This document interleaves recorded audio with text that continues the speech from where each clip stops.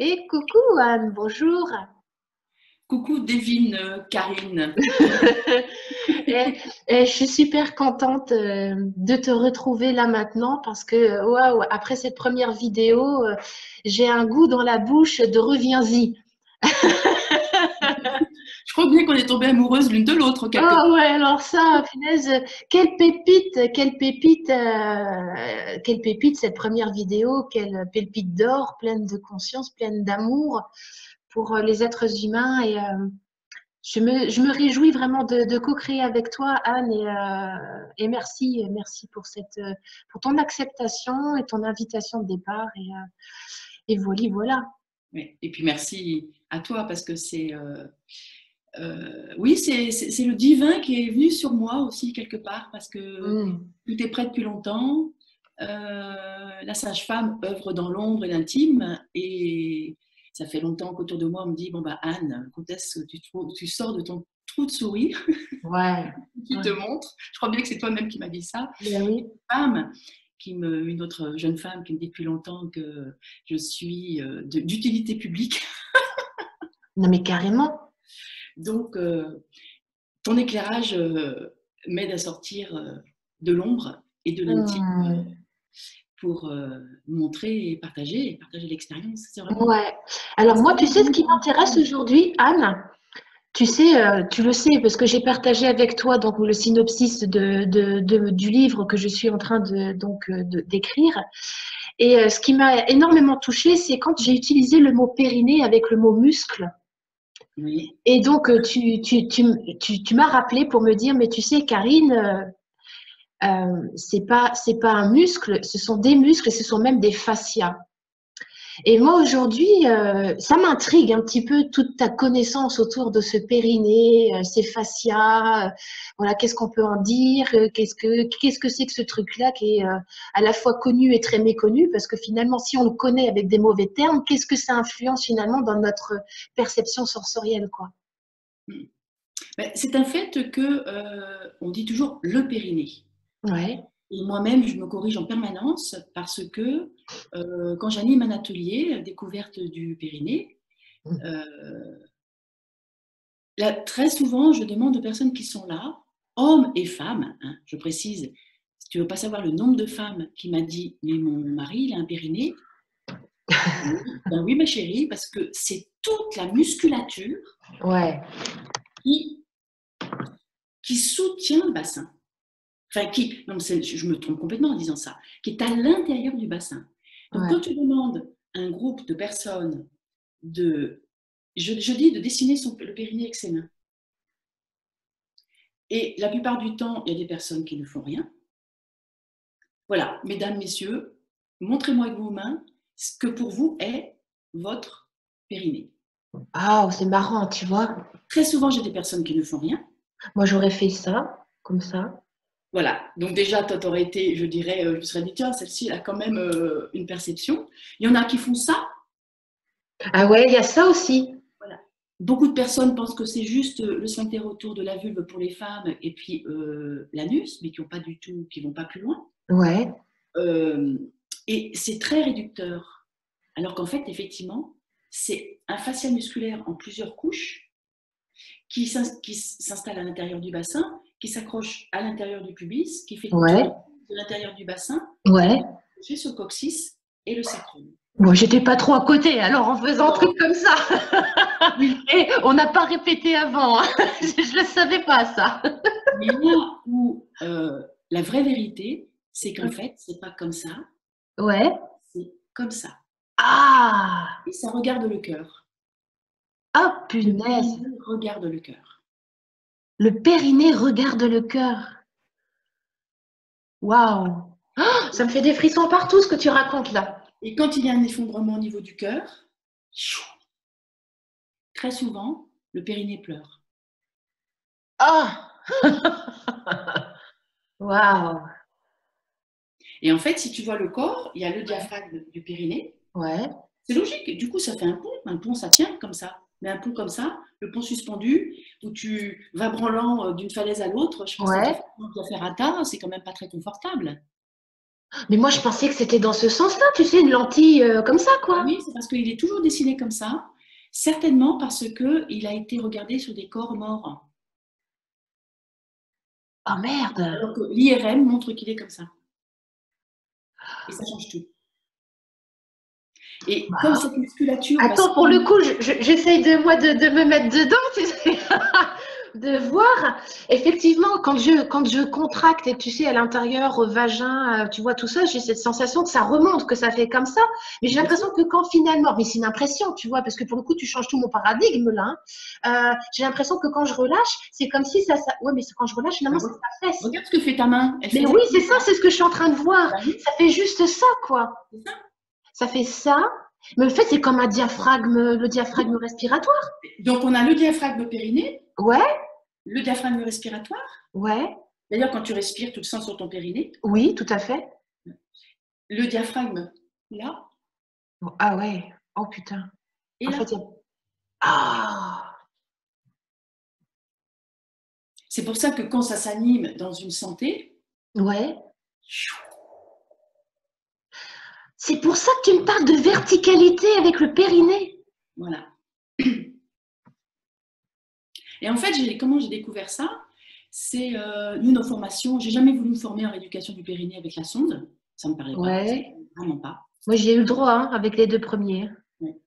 Et puis après, je me suis formée, euh, c'est la méthode qui s'appelle CMP, connaissance et maîtrise du périnée. Ouais. Où, euh, par des visualisations de portes qui se ferment, de volets qui se ferment, de herses qui se montent et qui se descendent, etc. Puis moi, j'ai inventé d'autres visualisations. Quand tu vas vraiment voir euh, à l'intérieur du vagin d'une femme, selon la visualisation, tu vas vraiment sentir des secteurs musculaires différents. Bien sûr, ça fait comme des anneaux. Oh, mais c'est même plus que ça, ça peut se contracter que d'un côté, que de l'autre côté. Et au fur et à mesure que, comme moi je suis sophrologue, au fur et à mesure que je, me suis aventurée dans cette euh, ouais. j'ai très vite arrêté d'examiner les femmes parce que je m'étais rendu compte que, que j'étais capable de, de, avec mon ressenti musculaire, de dire, ben là, à mon avis, tu as mal fermé ton volet, là. Ou tu as mal fermé ton pont-levis. Mais tu veux dire par empathie sensorielle, tu le, tu le perçois? J'étais capable de savoir l'image que la femme avait dans la tête et comment c'était. Je comprends, je comprends, je comprends, je comprends. Qu'est-ce que j'ai fait? J'ai arrêté l'examen. Ouais. Parce que quand même, c'est une intrusion. Bien sûr. Et, et c'est soumis à l'autorisation, en quelque sorte, enfin pour moi, hein, c'est vraiment. Oui, oui, je comprends, je comprends. C'est soumis à l'autorisation, euh, la, personne qui. évidemment, c'est les femmes, hein, parce que là, c'est un examen, mais tu peux faire ça en, anus avec les hommes. Hein. Les hommes, ils ont autant de problèmes. Bah, évidemment. Surtout. Euh, le fait de ne plus examiner, ça donne l'entière responsabilité à la personne de son ressenti. C'est pas moi, sage-femme, qui vais dire Ah, bah oui, c'est bien, tu contractes bien, tu relâches bien. On reviendra sur le relâchement. Donc finalement, j'ai commencé à, proposer uniquement les visualisations. Ouais, mais tu sais comment elles font ces femmes qui n'ont quasiment aucune sensation, si tu veux? Moi, j'ai rencontré des amis à moi qui me disent, mais je ne sens rien. Comment elles font si on ne touche pas oh ben, Alors du coup, si tu me suis en aiguille, je suis allée me former euh, en eutonie. Alors ça, ça a été... Et c'est là que j'ai... Alors l'eutonie, c'est une technique où, où tu apprends euh, la personne à aller dans son ressenti. Mais dans sa conscience corporelle, quoi, en fait. Quand tu fais une consultation de sage-femme, c'est une consultation qui va durer une demi-heure. Et ça, c'est quand tu prends, enfin, je veux dire, par rapport à ce qu'on est payé, c'est déjà beaucoup. Mais peu importe. Moi, je prenais une demi-heure. Et donc, bonjour, au revoir, etc. Ça veut dire que tu as à peu près un quart d'heure, 20 minutes d'expérimentation euh, corporelle. Ouais. Et dans ce peu de temps, qu'est-ce que j'ai vu petit à petit, au fur et à mesure que je faisais faire cette exploration? Il fallait, moi, je lâche tout, tout savoir. Déjà, en tant que sage-femme, il fallait que j'arrête de savoir. Ouais. De savoir pour l'autre. Hein. Oui, oui, oui, oui. De savoir. Et qu'est-ce que j'ai vu devant moi? J'ai vu les femmes. Je vais essayer de un peu plus loin.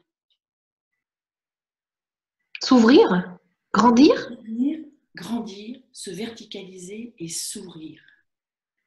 Ah. Et je te promets, j'ai des jeunes femmes qui m'ont embrassée, presque sur la bouche, pour me remercier, parce que. Et moi, j'ai fait Waouh, qu'est-ce qui se passe? Moins je touchais, plus elle se touchait elle-même en fait. Oui, je comprends. Plus elle rentrait à l'intérieur et c'est rentré à l'intérieur. Et c'est là que j'ai commencé à découvrir à quel point il y a des blessures. Pour certaines femmes, c'était tellement difficile d'aller voir à l'intérieur. Bien sûr, bien sûr. Eh ben oui, mais évidemment, si tu as été abusé, bien évidemment, si tu as été, euh, peu importe le traumatisme, après ça peut être dans la lignée, dans le transgénérationnel. Bien sûr, bien sûr. Psychiques qui peuvent être dans la lignée, mais du coup, ça rend impossible d'aller dans cet endroit du corps. Et du coup, d'aller dans la verticalité. Hmm. J'ai appris aussi petit à petit que pour une femme vraiment blessée, pour aller, pour rentrer dans l'espace du. Alors en autonomie, il parle du grand bassin. C'est-à-dire le grand bassin, il va du, de, la surface extérieure du, du sexe, en fait, Ouais. extérieure de toi, jusqu'au cœur. Ah oui. Jusqu'au cœur. Et donc, tu peux aller toucher le périnée, enfin les fascias du périnée. On va revenir sur la linguistique parce que tu es parti sur ça et puis tu m'as emmené ailleurs. Je pense qu'on a beaucoup, il va falloir faire beaucoup de vidéos parce que vu tout ce qu'il y a à dire. Et donc, en passant par l'espace du cœur, Ouais. hein, j'ai au point des, des libérations du, des rassembler les cœurs blessés, libérer tous les traumatismes, genre les avortements, etc., qui sont enfermés dans la cage du cœur. Ouais. Ça, ça impacte le bassin et ce fascia musculaire du périnée. Du coup, en réparant le cœur, tu peux aller toucher cette musculation du périnée, cette musculature du périnée. Et réparer, et du coup, aller dans la sensation, s'autoriser à aller dans la sensation. Ouais, donc je comprends mieux quand on dit que c'est avec le cœur qu'on répare nos blessures, mais c'est complètement ça. On force pas une résistance. C'est ça. Tu, tu, Et tu... moi, de, plus en plus, de plus en plus, je pense que la clé de voûte, elle est vraiment. Je ne sais même pas si elle est dans le cœur. Moi, dans mon corps, je la sens un tout petit peu en dessous du cœur, dans, quelque part euh, à l'intérieur du plexus solaire, Ouais, comme si, comme s'il y avait en- entre, la, entre la base, ouais, tout ce fascia musculaire du périnée et le cœur. Alors, le cœur symbolique, c'est-à-dire qu'il y a- il y, a le cœur physique, j'allais le Oui. mais c'est tout l'espace du cœur et, le- et, la, et la base. Et, donc, et, et- et ça se répond, et ça respire ensemble. Hmm. Et quand c'est vivant en bas, ça peut autoriser à réparer le cœur aussi. C'est-à-dire que moi, dans ce que je propose, c'est si ça résiste au niveau du cœur, Hmm. je vais plutôt aller vers la base Ouais, et, et pro- et faire la proposition par la base. Si ça résiste au niveau de la base, je vais proposer d'y aller à partir du cœur et de voir comment ça se répond. En fait, l'idée, c'est de créer le lien, une communication vivante entre les deux. Le corps est coupé, tu ne peux pas savoir dans les ateliers. Ah bah, c'est aussi, enfin, je veux dire, euh. Et après, c'est là que tu vois tous les non-dits, les interdits là, dans ce fascia-là. Très souvent, ça commence à, à bouger là, et les, les gens se mettent à tousser, euh, à pleurer, etc. Mais vomir. oui, ça, j'en ai vu ça. Et il y a tous les non-dits qui sont là, tu vois. Ah. Les interdits, les non-dits, les interdits. Tout ce qui n'a pas pu être euh, dévoilé. Alors moi, celui qui m'intéresse, c'est celui-là, tu vois. Parce que chez moi, c'est extrêmement sensible, tu vois, le- vraiment le, par là où on sort en fait du ventre de notre mère. Et, euh, et- et j'ai- j'aimerais bien que tu m'expliques quand même qu'est- qu'est-ce que tu, qu'est-ce qu'il y a comme lien justement avec ce, celui-ci, tu vois, cette calotte ici là. C'est, chez moi, c'est, euh, c'est vraiment une zone extrêmement ouverte qui, peut être très vite blessée en fait. Qui peut très vite blessé. Alors, ça serait intéressant de s'intéresser, de, de voir euh, comment tu es né, comment tu as été touché à ce moment-là, peut-être? Ben, je suis née avec des bleus. hein. Oui, voilà. Tu vois, on m'a forcé, enfin, c'est quelque chose qui a été assez violent quand même. J'étais pleine de bleus quand je suis sortie du ventre de ma mère. Donc, si tu veux, c'est vraiment le sommet du crâne qui, qui passe à travers. hein. Donc, si, on aborde ça, c'est c'est un sujet qu'on pourrait aborder prochainement hein, sur toutes les mémoires euh, qui, qui sont là. Euh, et puis en plus, on nous a appris, si tu veux, à, à sortir. Alors, on est tout fiers en plus quand on sait faire ça.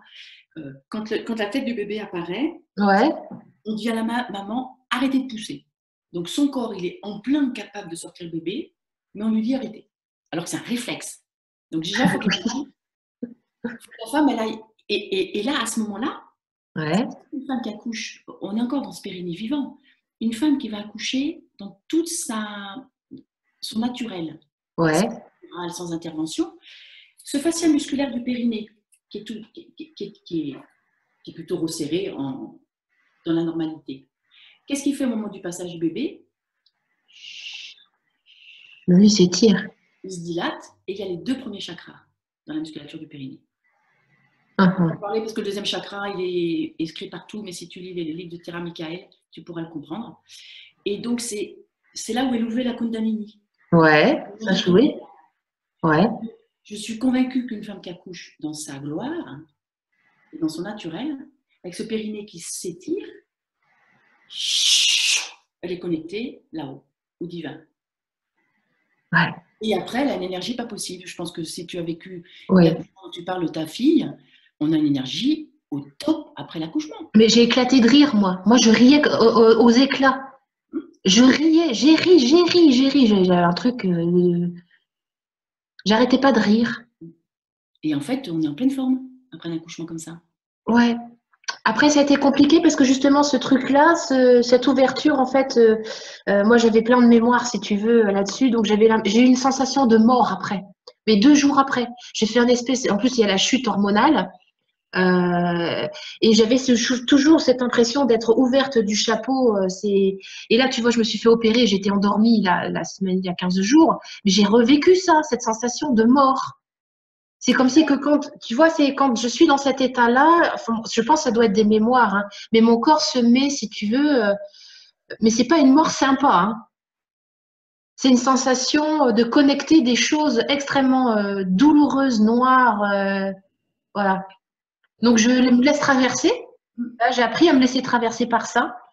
Parce Euh, que je me suis rendu compte, si tu veux, dans les stages que j'ai que j'anime, que j'ai appelé bassin S-A-I-N, Ouais, S-A-I-N, ouais, S-A-I-N, ouais, Donc, au fur et à mesure de, des, des journées de tra- de- d'exploration, on explore le bassin, nettoyage des mémoires, le mieux, enfin, le mieux possible. hein, chacun après son bagage. Quelquefois, c'est, ça demande, ça demande vraiment d'être dans la présence parce que ça soulève tellement de mémoires euh, toxiques, de guerre, d'holocauste. Enfin, c'est incroyable. Après, exploration du cœur. Après, exploration là. Et la plupart du temps, dans le groupe, tout le monde a mal à la tête.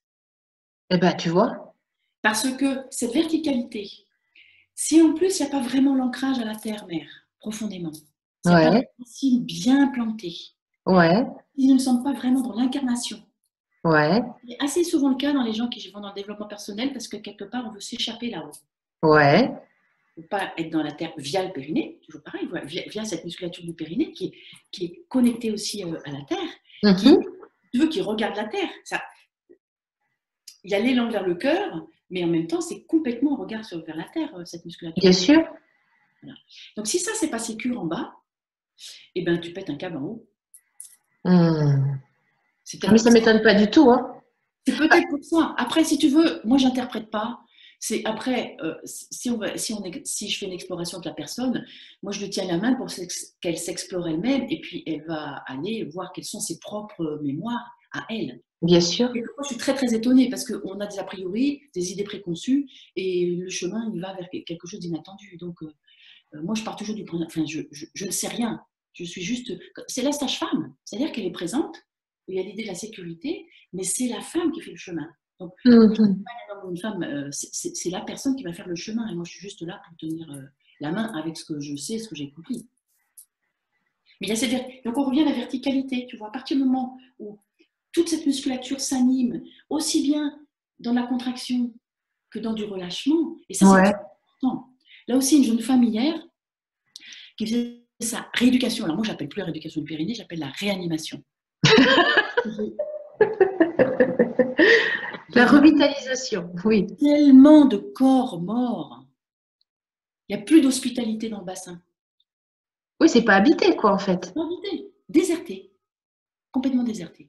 Chez la plupart des. de- et, et, et, et comment dire Moi, dans, ma, dans mon exploration de sage-femme, maintenant, peut-être j'ai des personnes qui ont un profil particulier qui viennent me voir. Euh, mes plus jeunes sages-femmes, j'avais un cabinet, c'était celle qui était auprès du téléphone qui répondait, donc j'avais vraiment Madame Tout le Monde. Pas- Bien sûr. j'avais déjà une démarche particulière. Et c'est c'est ça qui me fait vraiment dire, mais à quel point les corps et les bassins sont désertés. Et du coup, quand tu, euh, quand tu invites à la sensation, et, et c'est pour répondre à ton ami euh, qui disait je sens rien, Oui. euh, quand tu quand tu commences à percevoir, moi, ça m'arrive de dire mais d'accord, tu sens rien. Alors, décris-moi qu'est-ce qu'il y a dans le rien. Mhm. Oui, c'est quoi ça? l'autre, le rien devient moins rien. Bien sûr. Parce que du coup, plus tu vas l'amener dans la finesse, parce que la personne, elle va penser qu'un tout petit pétillement, c'est rien. Ah, mais si, tu sens un pétillement. Mhm. Suis ce pétillement. Vas-y, va dedans. Et de ce pétillement, ça va en faire, elle va, elle va être capable d'en percevoir un peu plus, et un peu plus, et un peu plus, et un peu plus. Mais ce qu'il y a, c'est que plus ça va se réveiller, plus elle a une mémoire, et très souvent, c'est le rien, c'est parce qu'il y a une mémoire difficile à aborder. Bah là, il y avait des accouchements extrêmement douloureux, elle a été déchirée, des trucs épouvantables. Hein. Mais certainement un accouchement douloureux parce que le périnée, il a une mémoire euh, traumatique. Oui, enfin, c'était une boucherie pour elle. elle voilà, donc, euh, Mais certainement, c'est sûr. Enfin, moi, quand on me dit ça, je sais qu'avant, il y a quelque chose de. Mais je vais te raconter quelque chose par rapport à ça. Euh, mais tu vois, plus ça va pétiller, si la personne, elle est en résistance, elle se dit, oh là là, elle ne peut pas y aller, c'est là, moi, je dis, bon, est-ce que tu as envie d'aller explorer ce qui se passe parce qu'il doit y avoir des choses qui ne t'appartiennent pas? Oui. Il faut libérer parce que euh, j'avais remarqué jeune, il y a des femmes, par exemple, elles, revenaient toutes les semaines, elles n'avaient jamais fait les, exercices, les expérimentations que j'avais proposées. Et je me suis rendu compte qu'en fait, petit à petit, celles qui n'arrivaient pas à faire cette exploration, c'est parce qu'en fait, il y avait une mémoire derrière qu'elles ne pouvaient pas voir. Trop difficile. Si c'est ton grand-père qui t'a touché, par exemple, tu ne le sais pas, que c'est stocké dans la mémoire musculaire. Bien sûr. Tu n'as pas du tout envie de découvrir ça. C'est compliqué, tu sais, de sortir du déni, c'est extrêmement violent. Hein. C'est une chute. Hein. Enfin, pour l'avoir vécu, euh, je, je, je, je, connais je, dans ma chair, je sais ce que c'est que d'être vraiment dans, dans la reconnexion avec, euh, avec la violence, euh, avec la violence de, donc de l'inceste ou de l'abus, de tout ça. Et quand c'est une chute, mais vertigineuse, une perte de repère totale. La psyché, pour moi, elle s'est complètement à ce moment-là, je savais plus où j'habitais, ni tout ça. C'était, c'est affreux, quoi. Mais je comprends hein, qu'on puisse y aller à reculons. Hein. Les Chinois ils disent que la musculature du périnée, c'est la mémoire des ancêtres en médecine chinoise. Mais c'est évident. Moi, je l'ai découvert sur le tas, si tu veux. Et puis, maintenant, j'ai des formations qui ont étayé mais ce que les, femmes euh, m'ont appris. Maintenant, je vois bien que les hommes, ils confirment. Les hommes qui viennent se confier à moi, ils confirment les mêmes choses. Et ce qu'il y a, c'est qu'en passant par le cœur, on peut y aller avec beaucoup de douceur, énormément de douceur. Et ça peut être, ça peut vraiment du coup être moins vertigineux dans la. Ah, mais moi, je suis complètement d'accord avec toi. Ça sert à rien d'aller. C'est ce que je dis moi dans mes dans, dans, mes ateliers ou dans mes dans mes consultations, c'est que ça sert à rien de forcer une résistance. Hein. S'il faut la résistance, il faut juste la ramollir. La résistance, c'est que tu fonces. Bah voilà. Moi, j'ai été comme ça pendant une bonne partie de mon existence. Tu vois, d'être dans cette violence parce que c'était quelque chose qui était profondément ancré en moi.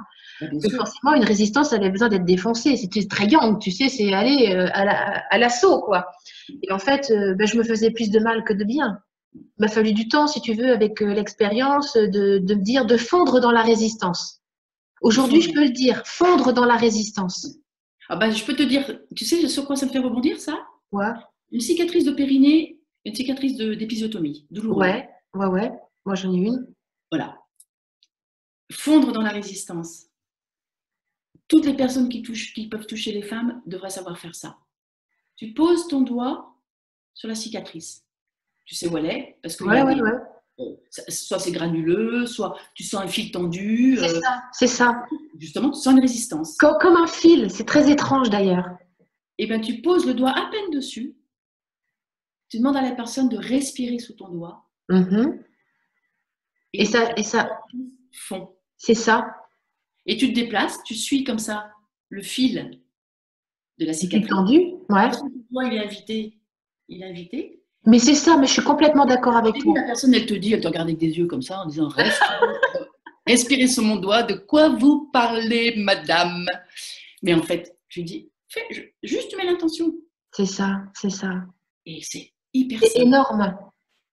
Énorme. Et mais ça fond comme dans du beurre, donc j'adore ton expression, ça s'effondre dans la résistance. Ouais, mais parce qu'en fait, je, me rends compte dans, les touchés, moi, que toucher thérapeutique du yoni que je peux proposer, euh, c'est exactement ça que je, que je, que je contacte. Euh, c'est-à-dire que j'attends vraiment l'invitation. C'est ça. Mais comme ça l'invitation. Comme ça devrait être fait quand on accouche, comme ça devrait être fait quand euh, on fait l'amour, bien sûr. Bien sûr. C'est le moment où et, ça invite à rentrer, tu vois, il y a vraiment quelque chose comme ça. Et en fait, à l'intérieur, c'est comme s'il y avait une intelligence, euh, comme si la yoni, elle sait là où elle a besoin d'être touchée. Et en fait, l'idée, c'est que celui qui, qui, qui, qui est l'objet, enfin, entre guillemets, celui qui, qui, qui, qui est, comment te dire, qui a les doigts, il n'y a qu'à laisser aller. C'est ça? Hmm? C'est tellement simple. J'ai une fois quelqu'un qui m'a dit, mais tu dis toujours c'est simple. Mais c'est tellement simple quand on suit le fil du corps. Mais c'est ça, c'est ça. C'est ça. Et, euh, et c'est juste énorme, enfin, les sensations qu'on peut rencontrer dans, dans, dans, dans, ce yoni, dans tous ces fascias, parce que finalement, ce vagin, moi, ce que je, je suis en train de contacter avec toi, c'est que, bon, j'avais vraiment ce pubot coccygé un peu, tu sais, comme l'image d'un de, de, muscles circulaires, tu vois, à l'intérieur de. Moi, c'est vraiment l'image que j'en avais, mais j'ai l'impression que c'est bien plus complexe que ça. Mais c'est un orgue. Moi, rien quand je parle. Bah oui, mais pour moi, c'est juste Tu vois, l'idée de pouvoir me dire que c'est justement un orgue sur plusieurs étages. J'avais vraiment cette sensation, si tu veux, comme. Euh, que c'était juste peut-être, tu vois, un muscle, déjà comme ça, tu vois, et qu'au milieu, il y avait un tube, avec deux tubes, parce qu'il y a l'anus et il y a le, vagin. Mais en fait, il y a, il y, a, il y a plein de. En fait, ça fait comme une espèce de fleur, quoi, tu vois. Euh. En fait, c'est même pas ça, c'est même pas un tube, si tu veux. Ce sont des, des, des fascias musculaires entremêlés. Ouais. Et puis à l'intérieur, par, exemple, si tu vois, si je mets mes doigts comme ça, ouais, ouais, ouais, ouais, ouais. il y a le vagin, à l'intérieur, il y a, l'anus, mais en fait, c'est, ce sont des. Euh, alors, tu en as certains qui sont comme ça, tu en as qui vont s'accrocher comme ça. Et c'est comme le pianiste, je ne sais pas si tu sais, mais les pianistes, ils créent des muscles au niveau de, de, l'avant-bras. Parce qu'on n'a pas de Oui, oui, bien sûr, bah, pour avoir il faut une dextérité quand même. Hein. Moi, je fais l'escalade, je suis en train de découvrir la même chose. Euh, tu crées des muscles différents parce, parce qu'en fait, il y a un fascia musculaire et les fascias musculaires, c'est plusieurs fibres. Oui. Et ça peut se différencier en plus de muscles. Donc, plus tu vas habiter ton périnée, plus tu vas être vivante là, ouais. tu vas différencier chaque, chaque fibre musculaire et plus tu vas sentir chaque fibre musculaire. Ouais. Et du coup, c'est là que ça devient un orgue. Waouh. Et plus tu es dedans, plus tu vois, c'est ah, mais c'est hyper vivant. Hein. Enfin, euh, Quand je parle de la joie du corps vivant, moi, c'est comme ça que je nomme ce que je propose. Et c'est pour ça que je parle jamais spécifiquement de la sexualité, parce que moi, c'est tellement au service de la sexualité, mais c'est au service euh, de l'humain. D'être en vie. au service de ce qu'on fait, là. Tu vois, on est, toutes les deux, on est dans la joie du corps vivant, dans notre dialogue. Oui, oui, oui. oui. ça. Wow. Et euh, moi, j'aimerais bien quand même que tu, que, que, tu nous expliques également, euh, pour tous ceux qui vont voir la vidéo, tu sais, on nous parle tout le temps euh, de, de, tonifier son périnée, qu'il faut absolument qu'il soit tonique. C'est vrai, on entend ça tout le temps. Merci. Et, et, et, moi, j'aurais vraiment, bon, j'ai mon avis là-dessus qui m'appartient. Si tu veux, je me rends compte que quand je fais l'amour, eh de temps en temps, j'ai besoin, au contraire, non pas de contracter, mais au contraire de le repousser et de le, tu sais. Expansion. Oui, c'est ça. ça. Tu sais, comme si je repoussais, comme si je sortais mon sexe. Comme quand j'accouche, tu vois. Ou quand je pousse, comme pour aller aux toilettes. Mais j'ai envie quelquefois, tu sais, juste, tu sais, de, laisser ouvrir cet espace, le dilater, comme si j'offrais mon sexe au lieu de le rentrer. Tu vois? Et j'aimerais avoir vraiment ton avis là-dessus. C'est tellement ça. Si tu veux, au tout début de cette putain de rééducation du périnée, excuse-moi le terme. les machines qu'on te vend, le business qui est autour. Oui, oui, oui, je, vois bien, je vois bien. alors la sonde qui t'envoie des trucs électriques. Ton périnée, j'ai vécu, je, je, vois très bien. Tu vois, on va, on va mimer là. Il y a la sonde et puis ton périnée, il fait autour. Fait... Mais c'est ça, c'est ça. C'est Sporelec. Tu sais, le truc pour les abdominaux, c'est Sporelec pour le vagin. Enfin, c'est. Moi, je trouve ça atroce parce qu'on donne une information atroce. Et en plus, on donne aucun. C'est-à-dire que les, personnes qui ont été rééduquées comme ça, elles n'ont aucune information de par elles-mêmes. Mais non, il n'y a pas de conscience. Donc après ça, on nous a. Il y avait le mot verrouiller le périnée. Donc ça, c'est j'ai peur. Mais tu sais, dans, beaucoup de techniques de yoga, je retrouve ça, tu sais, euh, quand on nous demande de serrer et tout, de faire monter. mais exactement, Karine, il y a des confusions. Mais oui, mais éclaire-nous, éclaire-nous, éclaire-nous. J'ai vraiment une, une, fois une de mes maîtres de yoga pourtant qui, qui me parlait du, des, bandas, hein, ce sont les bandas. Oui, oui, oui, c'est ça. Elle dit, la banda. ça se fait tout seul. Je n'ai pas répondu parce que cette femme-là, je ne pouvais pas lui répondre. Sauf que maintenant, je le fais dans les conférences, dans la même école où elle est là, et elle adore. Elle était, c'était pas, j'étais pas assez euh, solide à ce moment-là, je pense, pour. euh, parce que qu'est-ce que j'avais découvert? Moi, j'ai eu des personnes qui ont 40 ans de yoga, qui avaient un périnée mort. Mais comment c'est possible? Mais parce que tant que tu n'as pas mis la conscience Ouais. dans l'inconscient collectif, l'enfant qui va aller toucher son sexe, surtout il y a 30-40 ans, maintenant je crois que les parents ils sont un petit peu plus euh, attentifs à ne pas mettre des- trop d'interdits à ce niveau-là. Mais on est tellement dans l'interdit nous-mêmes, donc dans le, trans- dans le non-verbal, il se transmet un tabou et du coup c'est un lieu du corps qu'on n'explore pas. On en parlait tout à l'heure, moi je, je découvre plein de femmes qui n'ont jamais touché, qui n'ont jamais, qui sont éventuellement masturbées par euh, euh, extérieur, mais très rarement en- par la pénétration Ouais. qui ne vont pas aller explorer tout ça. Encore Ouais. moins la puce, encore moins. Ce sont des plaisirs interdits. Ouais. Et alors, par rapport à cette contraction, encore hier, une consultation avec une jeune femme, elle est sortie, tu sais, je crois qu'elle avait découvert le monde. alors, euh, dans cette fameuse CMP dont je te parlais, qui est la rééducation, qui est très, qui est très efficace, hein, que- qui m'a vraiment Ouais. fait avancer, mais ça dépend beaucoup comment tu l'as intégré. Et donc, elle me raconte, elle me dit, ah bah oui, euh, je fais ça avec euh, telle sage-femme, qui me dit, ferme le pont-levis, ferme les portes, etc. Et je pose la Et question. quand est-ce que ça s'ouvre? Eh ben, je lui ai posé la question, je lui ai dit, mais c'est quand que ça s'ouvre?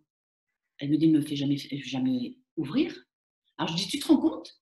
Pas étonnant que tu des fuites urinaires. Parce que l'information, Ah c'est tout le temps serré. C'est pas possible. Et en plus, ça, ça s'apprend pas en verticalité. Tu fais ça allongé dans un, dans un truc. Donc, tu n'es pas verticalisé. Ouais. C'est une consigne du faire. Ouais. les portes, etc. etc. C'est jamais une information du laisser s'ouvrir, cette expansion. Ouais. Et du coup, forcément, ça ne peut pas fonctionner parce que l'information qui est donnée, c'est encore faut serrer. Et je suis à peu près convaincue que la sage-femme qui donne ces consignes-là, c'est parce qu'elle-même, elle est dans un. Elle fait comme ça. Oui, puis ce sont des périnées qui ont peur. Mais oui, parce que quand tu rentres, quand tu vois un bigorneau, quand tu vois l'image du bigorneau, quand il a peur, qu'est-ce qu'il fait? Il rentre et il ferme la coquille. Hein C'est ça. Enfin, il met l'opercule. Euh, donc oui, c'est vrai que le retrait, la contraction, c'est vraiment ça. Mais c'est hyper fort ce que tu es en train de raconter, quoi. C'est pour ça que peut-être, tu sais, c'est marrant ce que tu dis, parce que, tu sais, dans l'éjaculation féminine, le truc qui fait que ça fonctionne, c'est qu'au contraire, il y a un relâchement relâchement total. total et que pour le coup, il y a vraiment, il y a plus de peur. C'est marrant, hein Il y a plus de peur. Alors, tu vois, tu parles de la Il y a quelque chose qui, qui s'ouvre et qui s'offre au monde, quoi, tu vois Qui sort. Tu parles de la peur, mais c'est exactement ça. Et alors moi, ce que j'ai exploré grâce à l'eutonie, donc sans toucher, donc la Ouais. personne est complètement avec elle-même, Ouais. c'est quand j'apporte la conscience, enfin, quand, quand, quand- quand ce que je guide vers ça, euh, vers le relâchement, Ouais. très souvent, j'ai eh oui, mais ah, mais j'ai peur. De quoi tu as peur? Elle a tellement grammé que le muscle, il doit tenir C'est ça. Et qu'elle risque de se faire. Parce que du coup, il y a, le- il y a le, le spectre de, des pertes urinaires, etc. etc. Ça. Du coup, dans le cerveau, il est intégré que si je laisse s'ouvrir, Je fais pipi. je fais pipi. Alors qu'en fait, c'est juste le muscle qui, qui s'étire. C'est un étirement de yoga. Ouais, ouais, ouais. Tu vas avoir besoin de temps en temps de te dire quelque chose de ferme, et puis, Ouais, ouais. et juste relâcher. Mais un relâché, ça doit faire du bien aussi, quoi. Surtout pour les peurs. De toute façon, c'est dans le relâchement qu'il y a l'extase. Tu parlais l'accouchement. L'accouchement, tout à l'heure, je n'ai pas terminé par rapport à, à ce périnée qui se déploie. Mais qu'est-ce qu'il nous a appris? Donc, tu vois, le, le périnée, il est ouvert comme ça, il y a la tête du bébé qui, qui arrive. Ouais, ouais, ouais. Naturellement, moi je l'ai vu à la maison, moi j'ai plus jamais touché une femme dans les accouchements à la maison, j'ai laissé faire. Ça se fait tout seul, et là on nous a appris, ne poussez plus madame. La femme, elle... Donc quelque part de faire ça, elle redonne une consigne de serrer au périnée, Fermeture. forcément. Donc tu as le bébé qui est là, tu as la musculature qui, qui se resserre autour, et toi très fier, avec tes mains, euh, t'es à travers, si tu veux, il y a la tête, c'est difficile d'expliquer, la tête du bébé, Ouais. tout le périnée qui est, qui est là, et Ouais. tu as tes mains sur la musculature qui est tirée comme une feuille de, de papier à cigarette. Ouais. Tu vas à travers la musculature du périnée chercher ce qu'on appelle les bosses du bébé. Ouais, ouais, ouais, ouais, ouais, ouais, ouais. contente parce que tu sais faire faire ça au bébé et tu sors le bébé, tu as accouché le bébé. en fait, j'ai fait que traumatiser un périnée, le faire se contracter autour de la tête du bébé. Une femme complètement obligée de se retenir là où c'est juste expansion. Donc toutes les informations que tu donnes à ce moment-là, c'est mais c'est parce qu'en fait, on, passe par quelque chose de cognitif. Mais parce que quand tu vois un mammifère, quand tu vois une chienne ou une chatte mettre bas, on leur dit pas tout ça, arrête de pousser. Bah, mais, tu comprends, c'est-à-dire que ce qu'on n'a pas compris, c'est que, c'est ce que je, vraiment je contacte de plus en plus, c'est que l'acte d'accoucher, c'est un acte naturel, euh, complètement archaïque des, des mammifères et qu'il n'y a pas d'indication à donner, si tu veux. Euh, arrête, fais ci, fais ça. Je veux dire, le corps suit une intelligence, quoi. Le corps suit une intelligence vivante. Moi, tu sais, je me suis incarnée sage-femme quand j'ai accompagné l'accouchement naturel parce que le premier accouchement où j'étais, où j'ai découvert que le bébé sortait tout seul, je te promets, c'est comme si c'était euh, une autre planète. je suis sage-femme. J'étais sage-femme depuis déjà 15 ans. Waouh. C'est grave. Ouais, tu as dû prendre une sacrée claque dans la figure ce jour-là. C'est grave. Et j'avais quand même assez vite eu le sentiment de respect, tu vois. Moi-même, pour accoucher, j'ai cherché des établissements qui n'allaient pas m'emmerder avec la péridurale, etc., etc. Mais j'étais loin du compte. Et, je me suis mise au pied des femmes qui m'ont enseigné. Et, oh, toujours une illustration par rapport à, aux cicatrices, aux périnées, quand tu parlais de ton amie qui a eu un accouchement euh, traumatisant. Je suis une jeune femme à la maison qui a traversé toute la phase des contractions sans problème, même quasiment sans douleur. Le bébé était vraiment pas loin, et là, plus rien. Alors, il y a une phase naturelle où l'accouchement peut s'arrêter quand le bébé euh, est presque là. Ouais. jamais respecté à l'hôpital, mais à la maison, on a appris à respecter. Donc, j'ai appris à respecter ça, tout ça.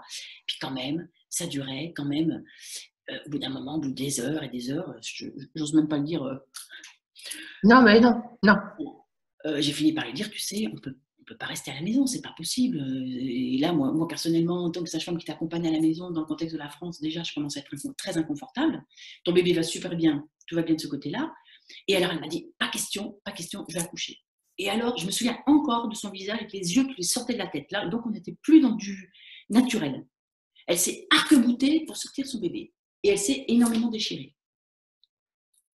Et moi, avec ma petite technique de sage-femme à domicile, avec une, une onde frontale, mes, mes fils, voilà que j'ai recours et c'était une, c'était une déchirure compliquée. Et j'ai appris à recoudre sans anesthésie parce que le problème de l'anesthésie, ça gonfle les tissus et ça fait beaucoup saigner. D'accord. Donc, euh, comme moi, je m'attache beaucoup à ce que la réflexion soit très jolie, parce que je considère que ça doit être très joli, le plus joli possible. Euh, Bien sûr. Au niveau de ce lieu-là. Ce que tout le monde partage pas ça, mais enfin bref, euh, dentelière, tu vois. Donc j'ai fait mon travail de dentelière et à chaque fois que je passais. J'allais dire, tu as fait de la dentelle, tu vois. J'allais te dire, tu as fait de la dentelle. De la dentelle.